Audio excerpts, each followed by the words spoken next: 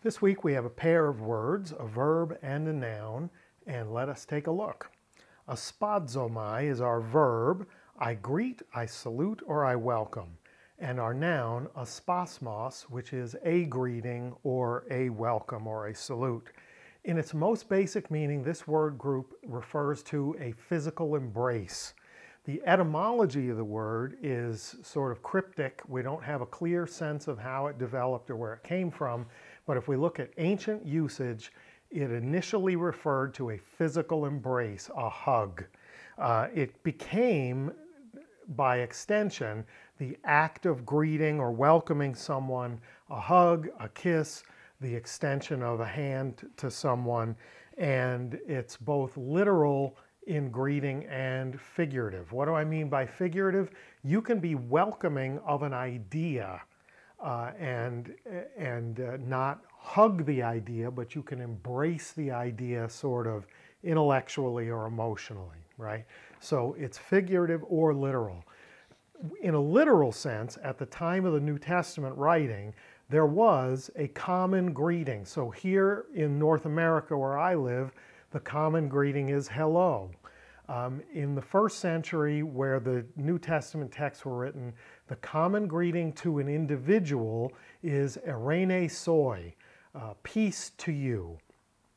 To, to a plurality, to multiple people, it would be Eirene humin, peace to you, plural. Does that sound familiar, right? I end most of these episodes with charis kai Eirene humin, grace and peace to you, plural, because I'm assuming that more than one person watches a video.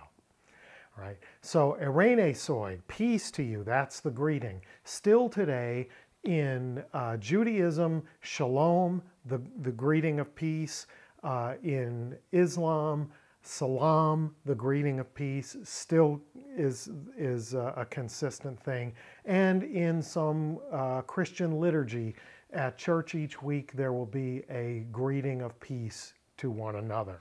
So, we're talking about a hospitality culture in which the greeting, the welcoming of another is very important. It's a sign of honor and respect to be greeted, and it's a sign of hospitality to welcome in the stranger, the traveler, etc., etc.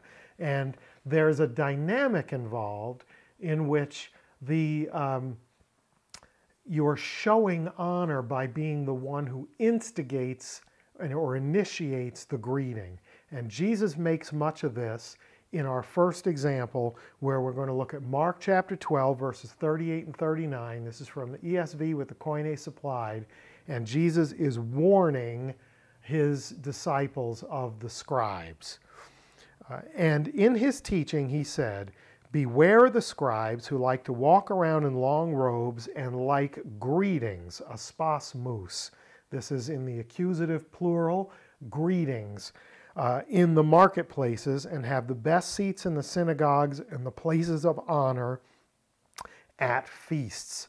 He goes on to tell them that they devour widows' houses. So Jesus warns about the religious scholars and their love for being treated with deference and respect. They like to go to public places and see other people come up to greet them. It shows, it gives them sort of social credit, right? And so Jesus' warning is about people who are concerned with being shown deference publicly like this. Uh, they pose a danger. Everyone out, they want to be seen by others as being the recipients of respect or regard. Next up, we're going to see the verb form. So this was the noun form in Mark 12. Now we're going to see the verb form in another warning. And this is in Luke chapter 10, verses 3 and 4. Go your way. Behold, I am sending you out as lambs in the midst of wolves. Carry no money bag, no knapsack, no sandals, and greet no one on the road. And here, greet is aspaseste. So this is uh, an aorist imperative. Don't greet people on the road. So Jesus has dispensed his disciples to go out to multiple cities and towns and villages uh, on a missionary trip, and he tells them, You've been assigned a place to go. Don't provide for your well being. You'll be cared for where you go. And also, don't stop along the way. In the first century, in the uh, Roman controlled region here, the road is the dangerous place. If you get to the town, if you get to the city, you're fairly safe. But it's the journey where the danger lies. You have to hope that you're on a road that's being patrolled by the Romans. Otherwise, you could encounter highwaymen, robbers, and be in grave danger. Your mission isn't to talk to the people on the way, it's to go to the town to which you've been sent. So don't stop and greet strangers on the way. He told them, I'm sending you out like lambs among wolves, and the strangers along the road in this particular instance uh, are where the disciples are told to avoid uh, because they fall under the category of wolves with the lambs. Let's move on to positive examples. And this one is from Mark chapter 9, verse 15.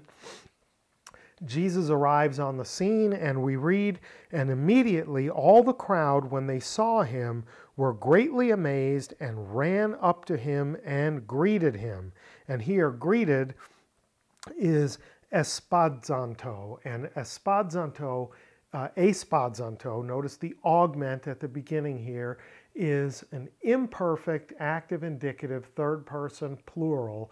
They were greeting him. So it's a continual action at a previous in a previous instance. Like in the past, they were greeting him. They are not greeting him now. When they saw him, they rushed up to him amazed and they were greeting him. So, literal greeting, probably involving hugs, kisses, handshakes, pats on the back, embracing, you know, figuratively and literally, happy to see him.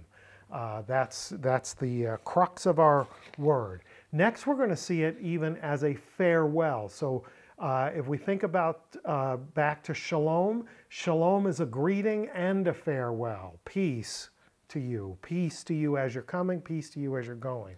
Uh, in in Hawaiian culture, aloha is a greeting and a farewell. Here we see in Acts chapter 20, verse 1, uh, we see it as a farewell. After the uproar ceased, Paul sent for the disciples, and after encouraging them, he said farewell and departed for Macedonia. And farewell here is uh, aspasamenos. This is a participle. He was farewelling them. He was greeting them, but on his way out the door. So he saluted them. He gave them his uh, message of departure as he was getting ready to head to Macedonia. Now we're going to see it in a figurative use, a purely figurative use, not about people to people. So this is Hebrews chapter 11, verse 13. These all died in faith, not having received the things promised, but having seen them and greeted them from afar, and having acknowledged that they were strangers and exiles on the earth. So, having greeted them, uh, aspasamenoi, here again, this is another participle. And so the things that they were looking forward to but had not yet received, they were per- perpetually greeting welcoming. Uh, a, a, modern vernacular would be they were promised certain things that hadn't happened yet, but they kept the welcome mat out for those things, right? They were in a perpetual state of openness to receiving the things that had been promised, but had not yet come to pass. Uh, finally, we're going to see uh, aspasmos as a written greeting rather than an act of greeting or a posture of greeting, but as a written greeting. So this is Colossians chapter 4, verse 18, and here we have, I, Paul, write this greeting, aspasmos, with my own hand. Remember my chains, grace be with you. So here we have a fascinating thing. He tells them that he's writing the greeting by himself. The word aspasmos is not the greeting. The greeting comes later at the end of the verse where he says, Grace be with you. right? Charis Kai Eirene Humin, grace and peace to you. That's the greeting I leave you with at the end. Here the greeting is, grace be with you. Uh, he tells them, I'm writing the greeting, aspasmos, myself. And what does he write? What is the greeting? Grace be with you. Uh, pretty magnificent stuff.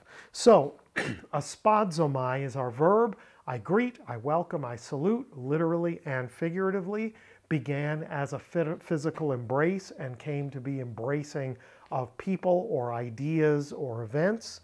Uh, aspasmos is the physical greeting, as the, the greeting itself can mean a written greeting or it can be the, uh, the, the, the act of greeting that takes place, but not in the sense of a verb. Uh, okay, so he offered a greeting. That's the noun. Uh, it's wide in its usage, figurative and literal, literal. You can find it all throughout the New Testament. Uh, so think about it next time when you offer someone a hug or a handshake uh, or a kiss, and you are offering them an aspasmos, and in, in its action, uh, aspadzomai, I greet you, I salute you. Those are our words of the week. I hope it was good for you. If it was, you know the stuff to do with the liking and the sharing, etc.